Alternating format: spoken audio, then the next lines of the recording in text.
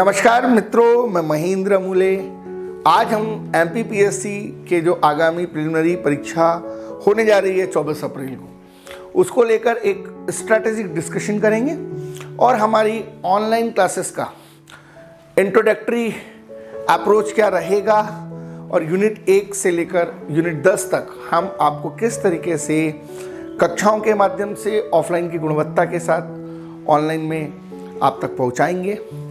और उसकी रणनीति क्या होगी? और साथ ही साथ हमारे कोर्स को प्राप्त करने के लिए आप हमें किस तरीके से पेमेंट की प्रोसीजर के थ्रू हमें पेमेंट करेंगे?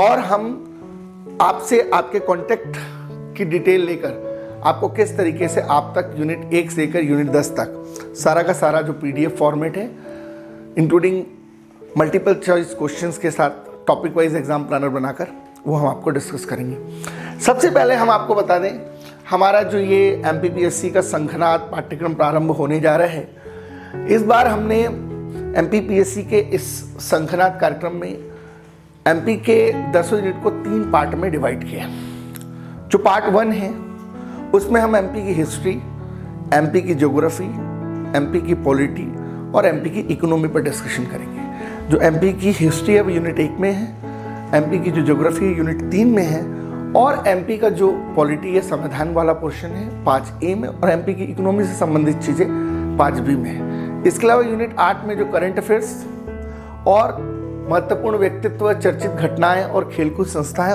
उसमें भी मध्य प्रदेश से संबंधित चीज़ें पूछी जाती हैं। तो निश्चित तौर पे 35 से 40 प्रतिशत पोर्शन एम में एमपी का वेटेज होता है तो हम उस पर विशेष तौर पर ध्यान देंगे क्योंकि कुछ बुनियादी तथ्यात्मक चीज़ों की गलती कर देने पर हमारा सिलेक्शन एक या दो नंबर से रह जाता है, जो कि हमें बाद में बहुत ज़्यादा तकलीफ़ देने वाली बात होती है। तो हम एमपी पर विशेष फोकस करेंगे और हम सबसे पहले स्टार्ट करेंगे एमपी की हिस्ट्री जो कि नया टॉपिक है, और हम इसमें मध्य प्रदेश के प्राचीन भारत, मध्य प्रदेश के मध्यकालीन भारत, और मध्य प्रदेश के आधुनिक भारत के अलावा मध्य प्रदेश का जो आर्ट एंड कल्चर है, और मीन्स का जो रियासत वाला पोर्शन है, वो भी कवर करेंगे। ये हमारा प्रयास रहेगा। दूसरा जो इम्पोर्टेंट टॉपिक है, वो है टेक्निकल टॉपिक्स जैसे यूनिट सात है साइंस इसमें जो विज्ञान के मौलिक सिद्धांत हैं फिजिक्स केमिस्ट्री से जुड़े हुए बायोलॉजी में मानव शरीर से जुड़ी हुई संरचनाएँ हैं, या पोषण न्यूट्रिशन से संबंधित चीज़ें हैं, या इसके अलावा जो है, जो सबसे महत्वपूर्ण चीज़ है, वो इन्वायरमेंट इकोलॉजी बायोडाइवर्सिटी है क्लाइमेट चेंज है, और डिज़ास्टर मैनेजमेंट पॉल्यूशन पॉल्यूशन के प्रकार, ये सारी चीज़ें। और एग्रीकल्चर प्रोडक्ट टेक्नोलॉजी इसके साथ ही जो है फ़ूड प्रोसेसिंग ये जो जितनी भी चीज़ें हैं यूनिट सात में, इसको हम बहुत सिस्टमेटिक तरीके से देखेंगे। टेक्निकल यूनिट और यूनिट नौ, जो इंफॉर्मेशन टेक्नोलॉजी और कम्युनिकेशन टेक्नोलॉजी इस पर हमारी बुक भी आ रही है।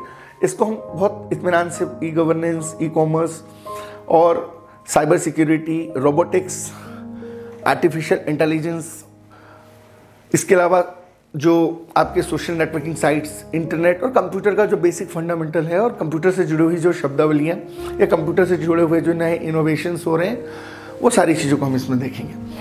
और मध्य प्रदेश की हिस्ट्री, ज्योग्राफी, पॉलिटी, इकोनॉमी और खेलकूद जी के करंट वाले पोर्शन की तरह ही हम टेक्निकल पोर्शन में यूनिट नौ, यूनिट सात को रखेंगे। इसके अलावा करंट अफेयर्स को भी हम जो है इसी टेक्निकल पोर्शन के अंतर्गत रखेंगे। साथ ही साथ जो जो आयोग से संबंधित यूनिट दस है, उसमें हम जितने भी नेशनल और रीजनल कॉन्स्टिट्यूशनल और स्टेटरी इंस्टीट्यूशंस हैं, वो सारे देखेंगे।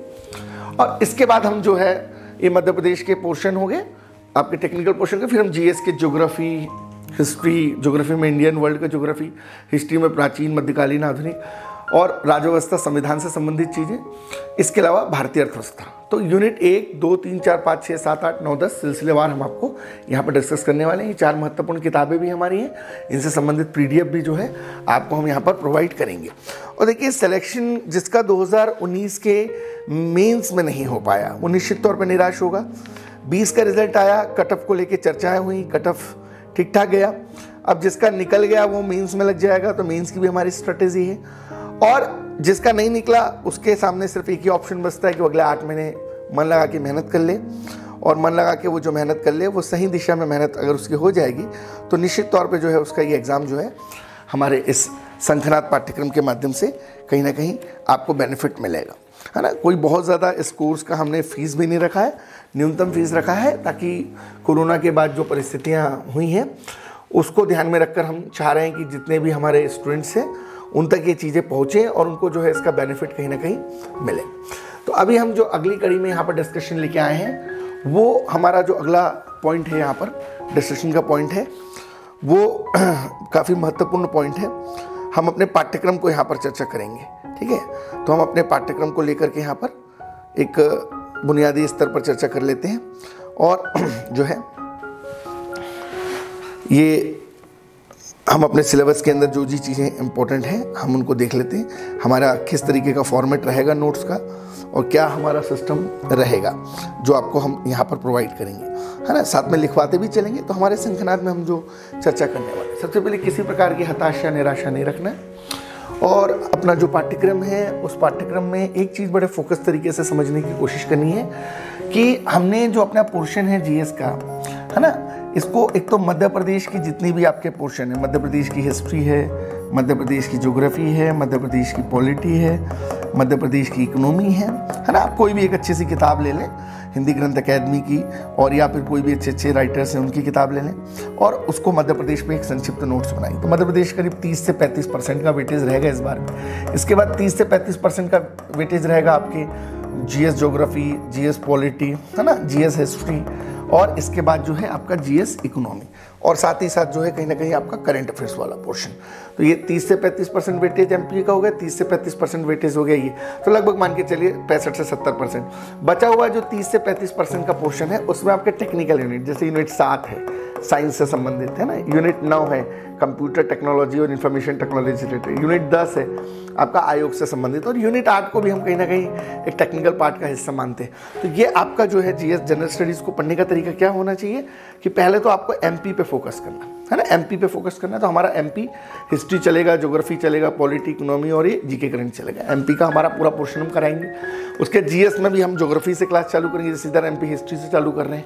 तो जोग्राफी चलेगा पॉलिटी चलेगा हिस्ट्री चलेगा इकोनॉमी चलेगा करंट अफेयर्स चलेगा नेशनल इंटरनेशनल और फिर हम टेक्निकल यूनिट्स पे काम करेंगे। यूनिट साइंस जो सात वाली यूनिट है, नौ इन्फॉर्मेशन टेक्नोलॉजी यूनिट दस आयोग वाली, और यूनिट आठ में जो स्पोर्ट्स से संबंधित चीज़ें हैं तो इनको हम यहाँ सिस्टमेटिक मैनर में यहाँ पर लेकर के चलेंगे।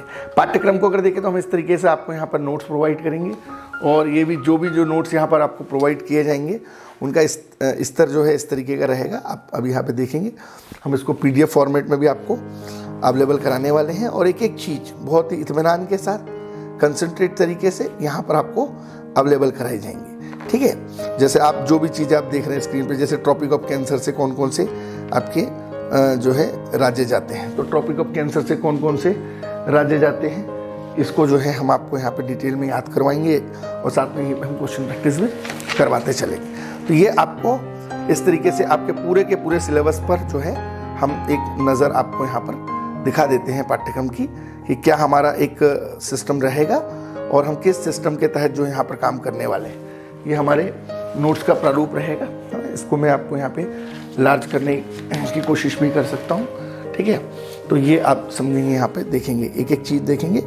इस तरीके से हम आपको पूरा पाठ्यक्रम यहाँ पे कवर कराएँगे। पूरी पीडीएफ आपको मिलेंगे अकॉर्डिंग टू सिलेबस जो भी आपके पाठ्यक्रम में है, पूरा का पूरा भूगोल का पोर्शन आपको यहाँ पर ईमानदारी से कराया जाएगा। एक एक चीज़। और इससे संबंधित जो प्रश्न हैं, उनको भी हम यहाँ पर क्लियर करेंगे। अब जैसे पिछली बार भूगोल में आपने देखा होगा, विश्व भूगोल में काफ़ी अंदर से चीज़ें पूछ ली थी ना? आपके ब्लू माउंटेन पूछ लिया था, आपका छोटा नागपुर का पठार पूछ लिया था, है ना? आपकी जो है नदियों की उत्पत्ति से संबंधित एक प्रश्न पूछ लिया था तो ये सारी चीज़ें। और जो है ग्लोबल पर्सपेक्टिव में सातों महाद्वीप और पाँचों महासागर से संबंधित प्रश्न हैं। इसके अलावा टेक्निकल पोर्शन में मानसून से रिलेटेड क्वेश्चन पूछ लिए थे, है ना? खनिज संसाधन से संबंधित चीज़ें पूछ ली थी तो ये सारी चीज़ें आपको यहाँ पर हम अवेलेबल कराने वाले हैं। ठीक, इसी तरीके से हमारा जो पैटर्न रहेगा, वो हम, ये एक मैंने एक जनरल स्टडीज़ के संदर्भ में आपको बताया। इसी तरीके से हमारा जो संदर्भ रहेगा, वो हम, जैसे मान लीजिए कोई आयोग पढ़ रहे हैं तो समझिए हम आयोग कोई पढ़ रहे हैं, हमने एक मानव अधिकार आयोग चालू किया तो हमने मानव अधिकार आयोग चालू किया तो मानव अधिकार से संबंधित हम पूरी चीज़ें यहाँ पर आपको क्लियर करेंगे कि भाई मानव अधिकार आयोग क्या है, मानव अधिकार से संबंधित संबंधित चीज़ें क्या, राज्य मानव अधिकार आयोग क्या है है ना? और मानव अधिकार को लेकर के जितने भी अपडेट हो रहे हैं, वो सारी चीज़ें हम यहाँ पर डिस्कस करेंगे। मतलब हमारा पाठ्यक्रम को लेकर के एक विस्तृत दृष्टिकोण यहाँ पर रहेगा। ठीक है, वो जब हमारी क्लास चालू होगी तो आप वो देखेंगे। बहुत ही सिस्टमेटिक तरीके से हम यहाँ पर आपकी क्लास करवाने वाले हैं। तो पूरे के पूरे जो हैं आपके, ये आपके आयोग कंप्लीट कराए जाएँगे। इसी तरीके से जो है आपके, आपका जो एक हम यहाँ पर पोर्शन देखेंगे। आप मान लीजिए टेक्निकल टॉपिक में आपके यहाँ पर इलेक्ट्रॉनिक देख रहे हैं, है ना?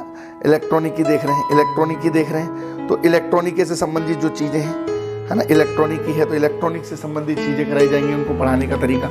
इसकी परिभाषा क्या है इसकी पृष्ठभूमि क्या है क्या क्या ब्रांचेस इसकी? इलेक्ट्रॉनिकी का विकास कैसे हुआ?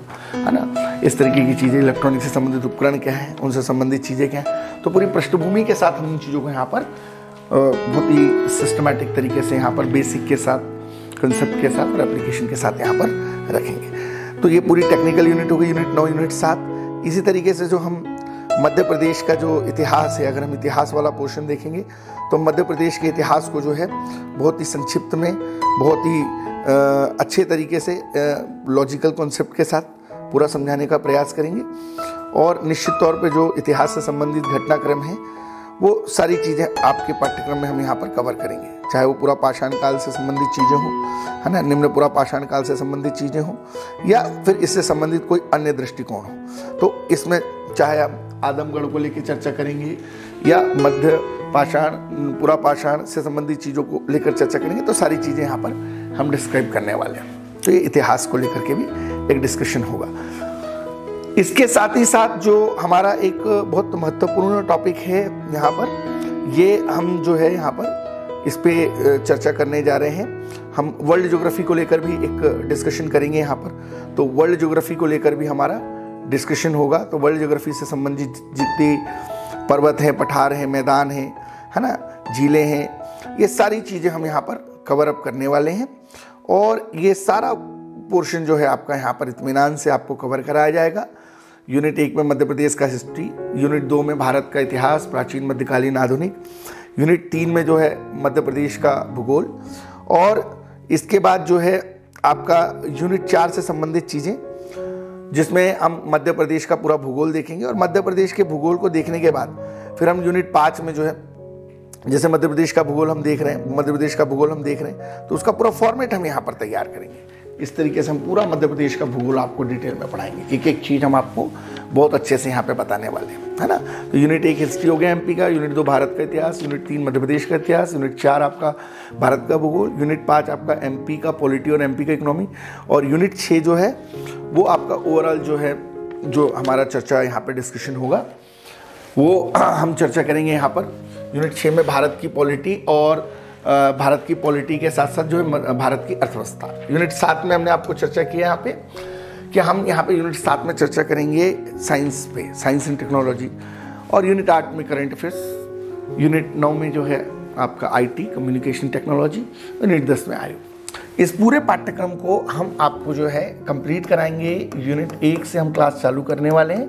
मध्य प्रदेश के हिस्ट्री से, बिल्कुल ज़ीरो से, है ना? और जो भी हम यहाँ पर पढ़ाएँगे, उसका पूरा बेसिक आपको पढ़ाएँगे बेसिक के साथ साथ आपको कोर एरिया कवर करेंगे, इसका अप्लाइड एरिया कवर करेंगे, और साथ ही साथ यहाँ जितने भी कॉन्सेप्ट बन सकते हैं अकॉर्डिंग टू मीन्स लिखने के लिए, और साथ ही साथ हम इसकी एप्लीकेशन पर भी यहाँ पर एक डिस्कशन करेंगे, है ना? मध्य प्रदेश का पूरा इतिहास कंप्लीट कराएँगे, और इसके साथ ही साथ हम जो है यहाँ पर यूनिट जो है चार यूनिट चार में ज्योग्राफी से हम क्लास चालू करेंगे। इंडिया और वर्ल्ड दोनों का हम ज्योग्राफी कराएँगे और इंडिया और वर्ल्ड के साथ साथ हम जो है इसमें मध्य प्रदेश वाला जो पोर्शन है, यूनिट तीन वाला पोर्शन वो भी कवर करा देंगे। जैसे यहाँ पर यूनिट एक के साथ हम यूनिट दो भी जोड़कर पढ़ाएँगे। इसके बाद जो हमारा टेक्निकल टॉपिक है, यूनिट सात, यूनिट आठ, यूनिट नौ और यूनिट दस, इसमें हम यूनिट नौ से क्लास चालू करेंगे और दस से। बाद में फिर ये दोनों टॉपिक को कवर करेंगे। इसके बाद जो बच जाएगा आपका, वो इंडियन पॉलिटी बच जाएगा इंडियन इकोनॉमी बच जाएगा और इसके बाद यूनिट एक दो हो गया ये तीन चार हो गया ये यूनिट पाँच यहाँ पे कवर हो गई यूनिट छः हो गया सात आठ, लगभग लगभग। और फिर आपका जो मिसलिनियस पोर्शन है आपका मिसलिनियस पोर्शन है प्रिलिमिनरी में विविध वाली चीज़ें, उनको हम यहाँ पे कवर करेंगे। ठीक है? करना क्या होगा आपको, हमारे इस पूरे पाठ्यक्रम को प्राप्त करने के लिए सीधा सा तरीका है, आपको अपना नेम लिख करके, जो भी आपका नेम है, आपका डिटेल में नेम लिख करके, आप किस एग्ज़ाम की तैयारी कर रहे हैं जैसे मान लीजिए आप एम पी का प्रिलिमिनरी का तैयारी कर रहे हैं, आपको हमारे प्री से संबंधित वीडियो चाहिए, या एम पी का आपका मीन्स का आप तैयारी कर रहे हैं तो फिर आप हमारी क्लास के अलावा हमारी टेस्ट सीरीज़ का हिस्सा चाहते हैं, या तो आप हमसे अपने नोट्स या पीडीएफ चाहते हैं, जो भी आप चाहते हैं, यहाँ पर आप एग्ज़ाम संबंधित कोर्स संबंधित चीज़ें यहाँ पर लिखेंगे नेम मोबाइल नंबर नेम और मोबाइल नंबर यहाँ पर लिख देंगे नेम और मोबाइल नंबर और ये हमको व्हाट्सअप पे, ये हमारा व्हाट्सअप नंबर है nine five eight four nine two eight two और फाइव टू। ये हमारे व्हाट्सअप नंबर पर, इस पर कॉलिंग भी है। तो व्हाट्सअप नंबर पर जो है आप अपना नाम और एग्ज़ाम कोर्स लिखें और अपना मीडियम भी आप ज़रूर लिखें। हालाँकि हमारी क्लासेस बायलैंग्वेज होंगी तो मीडियम भी आपको यहाँ पर लिखना है। इसके अलावा जितने भी हमारे टेस्ट पेपर हैं, वो हम कवर करेंगे। पूरा कंप्लीट कोर्स हमारा जो है, इक्कीस सौ रुपये का होगा और इक्कीस सौ रुपये में हम आपको पचास वीडियो कंप्लीट देंगे और ये पचास वीडियो की जो अवधि है ऑन एन एवरेज करीब हंड्रेड आवर की आसपास की रहेगी और इसमें हंड्रेड आवर्स में हमारा कोशिश रहेगी, हर एक आवर से एक क्वेश्चन हमारी क्लास से कहीं ना कहीं आए। और हम पूरा प्रिलिमिनरी के कोर्स को कवर करने की यहाँ पर पूरी कोशिश करेंगे और यूनिट एक से लेकर के यूनिट दस तक हम पढ़ेंगे। तो है ना? तो बिल्कुल इतमान से पढ़ना है, कहीं निराश नहीं होना है, हताश नहीं होना है है ना? व्यक्ति असफल होता है तो निश्चित तौर पे जो है असफलता अनाथ होती है, सफलता के कई पिताजी होते हैं और सफलता जिस व्यक्ति को मिलती है तो उसको बहुत से लोग जो है सपोर्ट करते हैं। लेकिन जो व्यक्ति असफल हो जाता है, उसको जो सही मायने में सपोर्ट करता है, वो व्यक्ति एक्चुअल में सच्चा गुरु होता है। और कहीं हताश होने की ज़रूरत नहीं है, निराश होने की ज़रूरत नहीं है है ना? जिस तरीके की परिस्थितियाँ चल रही है, उसमें आप अपनी पढ़ाई को ब्रेक ना करें। आप अपना कंटिन्यू पोर्शन पढ़ाई का करते रहें इतमान से तैयारी करते रहें। इसके अलावा हम लोग जिन लोगों का इस बार प्री निकल गया है उनके लिए मीन्स आंसर राइटिंग पर भी हम एक योजना पे काम कर रहे हैं और ये हमारी एक जीएस पाठशाला नामक के हम यहाँ पे बैच अनाउंस करने वाले हैं। तो ये जो जीएस पाठशाला हमारा बैच चलेगा, इस जीएस पाठशाला बैच के अंदर हम थ्री मार्कर दस शब्दों में उत्तर कैसे लिखें? दस शब्दों में उत्तर कैसे लिखें? इसके अलावा जो है आपके पचास शब्दों में उत्तर कैसे लिखें? पाँच मार्कर में। आपके 200 शब्दों में उत्तर कैसे लिखें? हम यहाँ पे आपको खुद आपके साथ में उत्तर लिख करके जो है, यहाँ फॉर्मेट आपको यहाँ पर हम कराएँगे।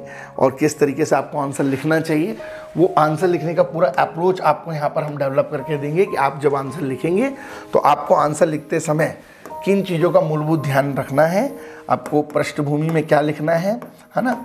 इसके अलावा आपको पृष्ठभूमि के अलावा जो भूमिका आपने बनाई है, यहाँ पर भूमिका में क्या लिखना है? क्योंकि देखिए, जो आपके दस शब्दों वाले प्रश्न होंगे तीन नंबर में, उसमें तो ऐसा कुछ भी नहीं है, उसमें तो डायरेक्ट लिखना है आपको, है ना? तीन मार्कर जो रहेंगे उसमें। और जो आपके पचास शब्द होंगे, उसमें भी आपको पृष्ठभूमि डायरेक्ट लिख करके आगे बढ़ना है। ये जो है पाँच मार्कर होंगे, पाँच नंबर के होंगे। और जो 200 शब्द वाले आपके प्रश्न के उत्तर होंगे, ये 11 नंबर के होंगे 11 मार्कर होंगे। तो इसमें पृष्ठभूमि, भूमिका, इसके अलावा विषय वस्तु जो आपके हैं और विषय वस्तु के अलावा जो आपका यहाँ पे निष्कर्ष है। तो हम यहाँ पर आपको प्रश्नों के साथ साथ जो है वो पूरा कवर अप कराएँगे सारी चीज़ों को। ये हमारा ये जीएस पाठशाला जो है मुख्य परीक्षा के लिए भी यहाँ पर एक बैच यहाँ पर स्टार्ट हम करने जा रहे हैं। तो इसकी सारी जानकारी हमने आपको बताई। इसका भी फॉर्मेट वही होगा, है ना? इसकी जो है टेस्ट सीरीज़ के रूप में ये रहेगा। हम जैसे यूनिट एक हमने स्टार्ट किया, मान लीजिए हिस्ट्री से। तो प्राचीन भारत से संबंधित हड़प्पा सभ्यता के जो भी प्रश्न हैं तीन नंबर, पाँच नंबर, ग्यारह नंबर हम उसको कराएँगे। इसी तरीके से पूरा प्राचीन भारत, मध्यकालीन भारत, आधुनिक भारत, उसी तरीके से भूगोल में हम यूनिट एक में, भारत, विश्व का भूगोल, भारत का भूगोल यूनिट तीन में एमपी का भूगोल यूनिट चार में, जल प्रबंधन, आपदा यूनिट पाँच में जो एडवांस टेक्नोलॉजी जो नई यूनिट जुड़ी, वो कराएँगे। पॉलिटी में यूनिट पेपर दो के अंदर यही पैटर्न रहेगा। इकोनॉमी में सोशलॉजी में यही पैटर्न रहेगा। और इसके अलावा वेलफेयर है एजुकेशन एच और जो पेपर तीन है, उसमें physics chemistry zoology botany computer mathematics और जो टेक्नोलॉजी से जुड़ा हुआ पोर्शन है, वो सारी चीज़ें हम इसमें कवर करेंगे इंक्लूडिंग इन्वायरमेंट एनर्जी सारी चीज़ें। पेपर चाहे रिथिक्स के लिए भी ये सिस्टम रहेगा हमारा। चाहे थिंकर्स हो, चाहे एटीट्यूड हो, या सामयिक बुद्धि वाली यूनिट हो, भ्रष्टाचारों के स्टडी हो। हिंदी के लिए भी यही सिस्टम रहेगा और निबंध के लिए भी यही सिस्टम होगा। तो पेपर एक, दो, तीन जीएस के पूरे पेपर चार इथिक्स पेपर पाँच, हिंदी पेपर छः निबंध। हम पूरी कंप्लीट जो है आपको प्रिपरेशन है मेंस की भी कराएँगे अपनी जीएस पाठशाला जो लाइव आंसर राइटिंग है सेशन के द्वारा। तो हमने अपने दोनों ही कोर्स के बारे में आपको बताया। और एक महत्वपूर्ण बात, निराश होने की कतई आवश्यकता नहीं है है ना? क्योंकि इस कर्म भूमि में कर्म खुद ही करना पड़ता है, रफ सिर्फ़ लकीरें देता है। रंग खुद ही भरना पड़ता है। और बिल्कुल आप एक ऐसी प्लेटफॉर्म पे क्लासेस करिए जहाँ पर आपको एक कोई मेंटर प्रॉपर आपके आंसर चेक करे, आपको सिस्टम के साथ तैयारी करवाए। है ना? और हमारा जो कोर्स है, बहुत मिनिमाइज रेट पर है। प्रिलिमिनरी का पूरा कंप्लीट कोर्स हमारा इक्कीस सौ रुपये का है और मीन्स का जो कोर्स है, उसकी हमारी पर मंथ फ़ीस है थाउज़ेंड रुपीज़ तो आपका वो तीन से चार महीने कोर्स चलेगा, उसमें हम आपको पेपर एक पेपर दो पेपर तीन पेपर चार पूरा कंप्लीट कराएँगे। मतलब प्री का पूरा कोर्स इक्कीस सौ रुपये में कंप्लीट करा देंगे और मीन्स का कंप्लीट पूरा कोर्स जो है तीन हज़ार रुपये में कंप्लीट करा देंगे। तो इक्यावन सौ रुपये में आपका प्री प्लस मीन्स कंप्लीट तैयार हो जाएगा with notes with P D F with M C Q multiple choice question preliminary में करीब हम आपको दस हज़ार के आसपास एम करा देंगे और मेंस में हम जो भी हेडिंग होगी उसको पहले समझाएँगे और फिर उसको कैसे आंसर लिखना है, जो एक्चुअल में हमको एग्ज़ाम के लिए चाहिए। वो हम यहाँ करेंगे। बिना लाग लपेट के जो टू द पॉइंट बातचीत है, वो हम करेंगे। और पूरी स्टडी हमारी बेसिक के साथ कंसेप्ट के साथ और एप्लीकेशन के साथ होगी।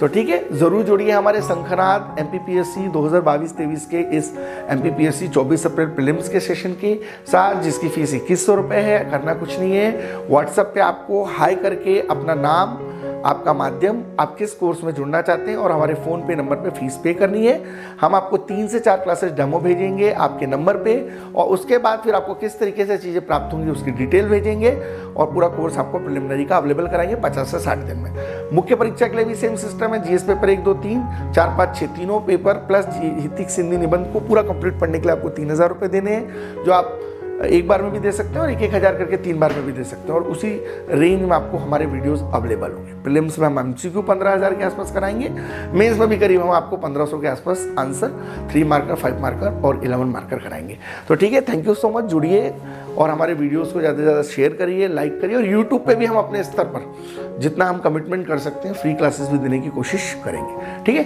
थैंक यू सो मच और लगातार जुड़िए और पढ़ाई करिए, पूरा ध्यान अपना पढ़ाई में लगाइए और ईमानदारी से लगे रहिए। धन्यवाद।